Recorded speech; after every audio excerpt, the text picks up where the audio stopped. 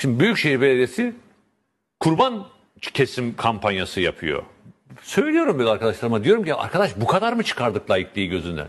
Hiçbirimiz şunu demiyoruz mesela İstanbul Büyükşehir Belediyesi'nin işi mi kurban kesmek?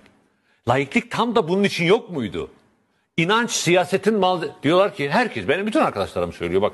Diyorlar ki ama bir sürü fakir fukara et dağıtacak. Ya biz sonuca bakarak mı bir değeri savunacağız?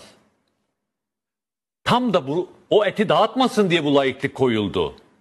Tam da tam da siyasetçiler inanç değerleri üzerinden yoksulun gönlünü çalmasın diye bu laiklik Türkiye için önemli bir değer haline geldi.